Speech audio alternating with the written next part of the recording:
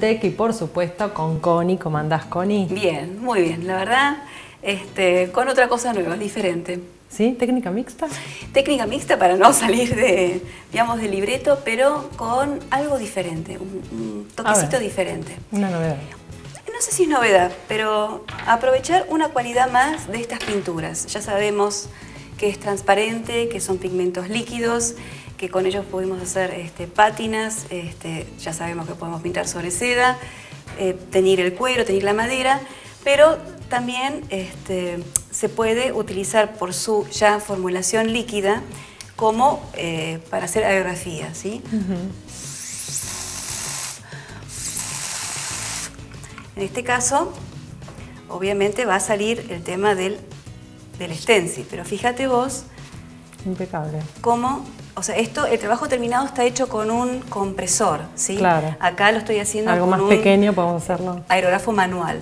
Pero es para que vean, digamos, otra cosa más que nos permite hacer estas pinturas Habana, ¿sí? Aprovechando su transparencia y su estado líquido. Claro. ¿Mm?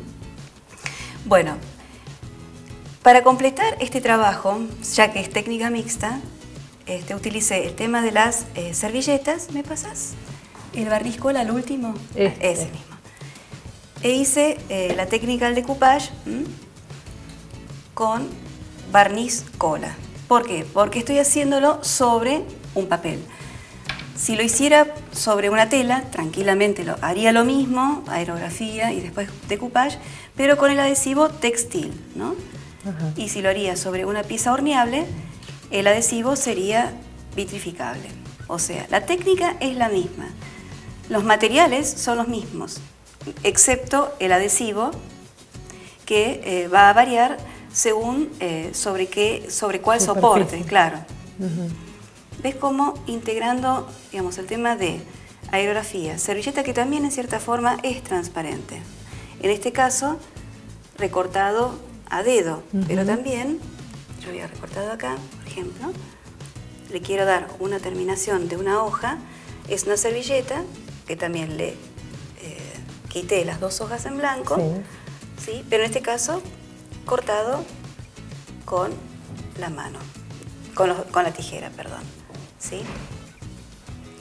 Y siempre por encima, o sea, ni siquiera pones en la superficie porque ya... al- Porque es muy fina la servilleta, Y no hace falta. absorbe. Exacto. Después, si nosotros, el trabajo terminado también lo que tiene es toda una eh, pátina. ¿Por qué hago esto y no lo preparé para que lo vean? Que las personas mezclando el barniz al agua brillante con un poco de jabana, yo todo lo que sobra lo recupero y lo puedo volver a usar reutilizar. en otra eh, instancia. ¿sí? Entonces ahora sí, con un pincel plano de mayor este, ancho, lo que, lo que trabajo era es patinar, no se nota nada porque, eh, mucho porque es amarillo. ¿sí? Claro. El trabajo terminado sí te lo permite observar. Ujú. ¿Por qué oscurecía un poco? Bueno, estando un poco en la época eh, otoñal, los colores a la luz me parecieron muy fuertes. Esto me lo está de alguna forma dando Como apagando un poquito, un poquito, eh, al- y llevando a los colores del otoño. ¿no? Exacto. Y si vos querés, para darle un toque final, querés hacer cabos con la hoja, porque es, es difícil cortar un cabito, Sí. se lo puedes dar con, Con el pincel. acrílico, ¿sí? utilizando un pincel. Y a su vez, fíjate todo, por eso se llama técnica mixta, ¿no? Empezamos con jabana, después decoupage, pátina con Pátina. jabana, barniz al agua, este, acrílico para dar detalles y, ¿por qué no?, un toque de este, Textura. textura, No, relieve. Textura y también el tema del brillo. ¿Sí? ¿Sí? Jugando con el tema de, en este caso, la guta, en este caso eh, doradas, pero aquí hay este, otros tonos metalizados. Qué bueno.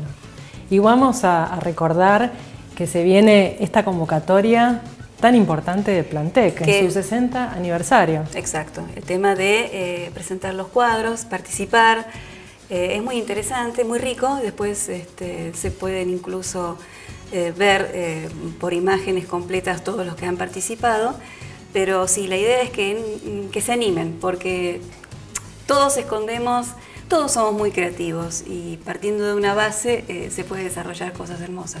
Y acá les estamos mostrando un poquito, un poco, algo de, lo, de, tantos materiales y diversidad de productos que tiene Plantec, así que esto es como una, punta de, del mundo, de, este mundo, ¿no? Porque, y ustedes después se van a ir animando y viendo la guta y los papeles, las servilletas que tiene Plantec, los stencils. En este caso, hay tanto material. Sí, hay muchísimo material. Y en este caso, bueno, lo hice sobre un papel de acuarela de 250, que tiene la característica, a diferencia de eh, la de 300, que también es para acuarela, que esta es una mezcla de celulosa con algodón.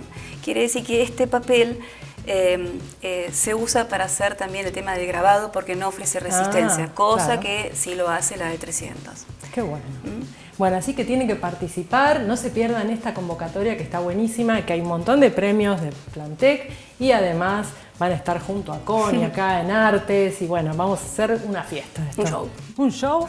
¿Show de Connie? No sé. Show de Plantec y de No me digas show porque yo me... No, mejor no. Bueno, ustedes participen, no se olviden, ¿eh? Muchas gracias, Connie. No, gracias a vos por esta oportunidad. No, por favor.